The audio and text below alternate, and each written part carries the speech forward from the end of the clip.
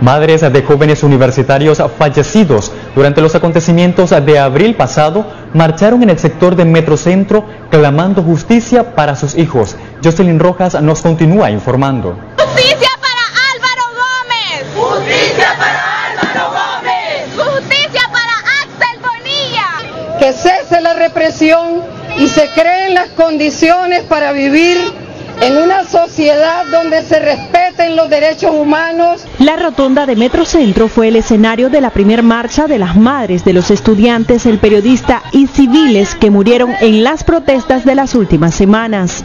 A gritos pedían que prevalezca la justicia en Nicaragua y que sean procesadas las personas que acabaron con la vida de más de 40 estudiantes que luchaban en las calles por un cambio en el país. ¿Cuál es el llamado directamente que usted está haciendo?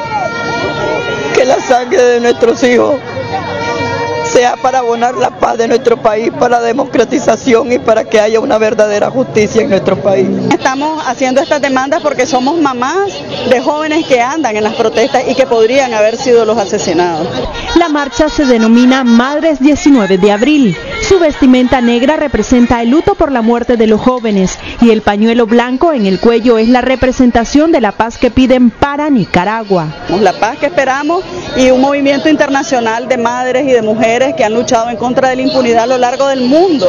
Expresaron que estas marchas y plantones los van a realizar todos los jueves en puntos diferentes de la capital, con el firme propósito que su demanda sea escuchada. Con imágenes de Jorge Urroz en Acción 10, Jocelyn Rojas.